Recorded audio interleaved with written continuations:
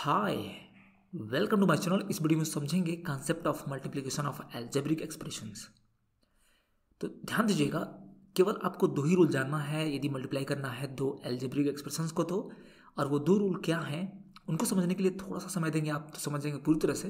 तो पूरा अंत तक देखिएगा, केवल दो मिनट में आप समझ जाएँगे कि कैसे मल्टीप्लाई करेंगे दो एल्जेब्रिक एक्सप्रेशंस को। ओके लेट्स स्टार्ट ना so rule number one the product of two factors with like signs is positive.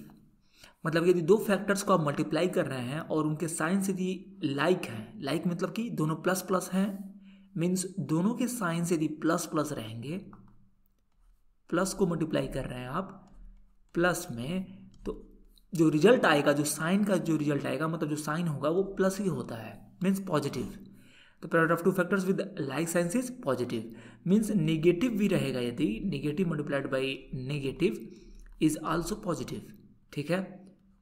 And the product of two factors यदि दो फैक्टर्स ऐसे लेते हैं विद अनलाइक साइंस उनके साइंस क्या है? अनलाइक है मतलब कि सेम नहीं है, तब उन दोनों का जो प्रोडक्ट आएगा वो निगेटिव आएगा। उसका जो साइन होगा वो निगेटिव आएगा जो प्रोडक्ट का।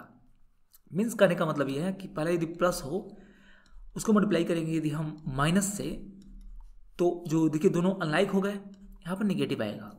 यदि पहला निगेटिव है और दूसरा पॉजिटिव है, तब भी आपका निगेटिव रिज़ल्ट आएगा। तो कहने का मतलब कि ये कैसे अप्लाई होता है, कहाँ पर? देखिए, इसमें यहाँ पर सिंपल एग्ज़ाम्पल आपसे आपको बता रहा हूँ। यदि एक्स में मल्टीप्लाई करते हैं ऑफ़ एक्स से तो यहाँ पे एक्स का साइन क्या है? पॉजिटिव है। तो ये एक फैक्टर है, ठीक है? ये फैक्टर है, ये भी एक फैक्टर है। ये दोनों फैक्टर का जो साइन है, वो लाइक है सेम है। दोनों का सेम रहेगा इट मीन्स जो रिज़ल्ट आएगा वो भी प्लस में आएगा। कहने का मतलब ये है। और दोनों को मल्टीप्लाई करेंगे तो मल्टीप्लाई कैसे करते हैं? वो रूल टू है। मतलब कि जो मल्टीप्लाई करने के लिए सेम वेरिएबल्स होने चाहिए और उनका बेस बराबर होना चाहिए, बस पावर्स को हम ऐड कर देते हैं यूजिंग वन रूल और वो दूसरा रूल क्या है? समझिए ध्यान से। देखिए, दूसरा रूल है आपका while multiplying variables we use the following exponent rule ये एक्सपोनेंट रूल है जो हमेशा यूज़ होता है किसी भी दो एल्जेब्रिक एक्सप्रेशन को जब आप मल्टीप्लाई करते हैं तो क्योंकि उसमें वेरिएबल्स ज़रूर आते हैं और वेरिएबल्स यदि सेम होंगे तो उनका बेस दोनों बराबर हो जाएगा और बेस बराबर होगा तो केवल पावर्स को ऐड कर देना होगा। दैट्स इट यदि आप पावर्स को ऐड कर देते हैं then you will get the answer जैसे कि प्रीवियस प्रीवियस एग्ज़ाम्पल में हमने यहाँ गया था तो x इंटू एक्स करेंगे तो केवल पावर्स को ऐड कर दीजिए। मीन्स यहाँ x रखिए और यहाँ पे वन पावर है, यहाँ पे वन पावर है, दोनों को ऐड कर दीजिए।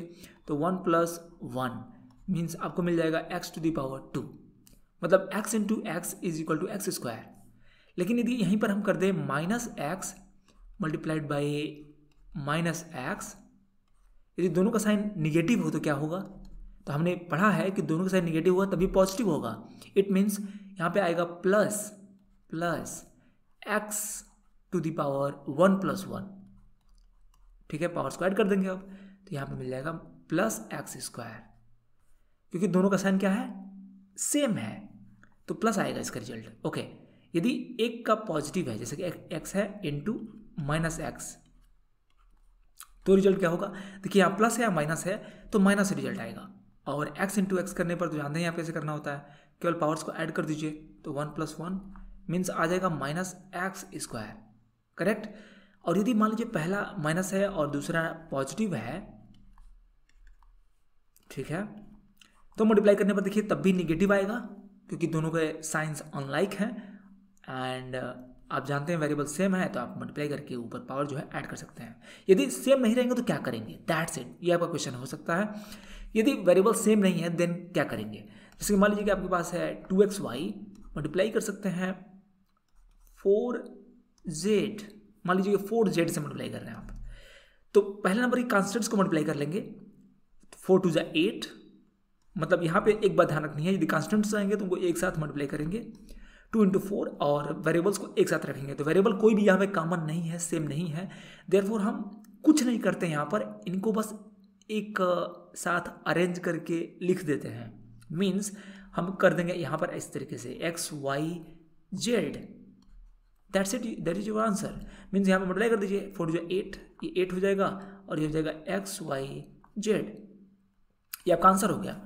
मीन्स आपको यहाँ पर जो फैक्टर्स दिखते हैं, यहाँ पर जो वेरिएबल्स दिखते हैं, यदि सेम नहीं है तो बस आपको एक साथ उनको रख देना है दैट्स इट ओके जैसे फॉर एग्ज़ाम्पल बहुत सारे एग्ज़ाम्पल लेता हूँ मैं। सो माइनस वाई में यदि आप मल्टीप्लाई करते हैं एक्स वाई से, ठीक है? तो पहले आपको देखना होगा कि दोनों के साइंस क्या हैं। तो इस फैक्टर का साइन है नेगेटिव इस साइन इसका साइन है पॉजिटिव मीन्स दोनों के अनलाइक साइंस हैं देयर इनका जो प्रोडक्ट आएगा वो नेगेटिव आएगा राइट उसके बाद हम इसके वेरिएबल्स को एक साथ रखते हैं। तो एक्स आप ऐसे रख दीजिए, क्योंकि एक्स का फैक्टर यहाँ है नहीं, और वाई वाई सेम वेरिएबल्स हैं तो इनको हम पावर ऐड कर देंगे। Means y to the power one plus one ठीक है? बस यही करना है। तो मीन्स मिल जाएगा minus x y square this is your answer तो कॉन्सेप्ट मतलब यही है। सिंपली ऐसे ही करके आपको सॉल्व कर लेना है। तो चाहे कितना भी बड़ा सा बड़ा कोई भी मल्टीप्लिकेशन आए, आपको बेसिक ये कॉन्सेप्ट तो लगाना ही है। हमेशा हर जगह दो फैक्टर्स को मल्टीप्लाई करने को ज़रूर रहेगा। जैसे मान लीजिए, मैं आपको एक एग्ज़ाम्पल और बताता हूँ। जैसे एक्स इंटू थोड़ा कॉम्प्लेक्स बताता हूँ। एक्स इंटू मान लीजिए ऐसे दिया हुआ है। X square plus x y plus three ठीक है? यहाँ मल्टीप्लाई करना है। तो यहाँ भी आपको ये बेसिक कॉन्सेप्ट यूज़ करना ही है। मतलब दो फैक्टर्स को मल्टीप्लाई करना ही है। बस आपको ब्रेकेट के अंदर इसको डिस्ट्रीब्यूट कर देना है इस एक्स को। यही करना पड़ेगा। जैसे यहाँ पर एक्स मल्टीप्लाई करेंगे तो अब करना पड़ेगा इस तरीके से x into x square plus x into x y plus x into three ठीक है? मीन्स यहाँ पर देखिए, यहाँ पर दोनों का वेरिएबल्स दोनों जो वेरिएबल्स हैं सेम है तो इसके पावर्स को ऐड कर देंगे तो एक्स क्यूब हो जाएगा प्लस यहाँ देखिए मतलब हम एक्चुअली क्या कर रहे हैं? दो फैक्टर्स को मल्टीप्लाई कर रहे हैं और जहाँ पे जो यही दोनों रूल यूज़ होंगे फाइनली ओके तो x into x x y करेंगे तो यहाँ पर देखिए वन पावर है, यहाँ भी वन पावर है, दोनों ऐड कर देंगे एक्स स्क्वायर वाई हो जाएगा। वाई को वाई का वेरिएबल सेम तो है नहीं वाई को एज इट इज़ उसके साथ रख देंगे बस। प्लस यहाँ पर कर देंगे थ्री एक्स ठीक है? तो this is your product of this two factors तो इसको बोलते हैं प्रोडक्ट इसको बोलते हैं मल्टीप्लिकेंड इन दोनों का नाम जो होता है मतलब जिसको मल्टीप्लाई कर रहे होते हैं, उसको बोलते हैं मल्टीप्लिकेंट्स तो ये भी मल्टीप्लीकेंट है, ये भी मल्टीप्लीकेंट है। और ये जो आता है, इसको बोलते हैं प्रोडक्ट ठीक है? Product this is your product मतलब जो प्रोडक्ट बन चुका है मशीन के अंदर जाने के बाद, है ना? ये दोनों आपके एक तरह से बोल सकते हैं रिएक्टेंट्स हैं और ये प्रोडक्ट है केमिस्ट्री के पॉइंट ऑफ़ व्यू से ओके सो so, आप समझ चुके हमें कैसे सॉल्व करना होता है तो ऐसे मैं और भी वीडियोस बनाऊँगा। आप जगह जगह बहुत सारे एक्सरसाइज में आप देख सकते हैं। इस समय भी यदि कोई भी डाउट है आपको तो कमेंट बॉक्स में लिख सकते हैं आप। और यदि आपको अच्छा लगा ये वीडियो तो आप लाइक कर दीजिए अपने शेयर कर सकते हैं। Thank you so much for watching bye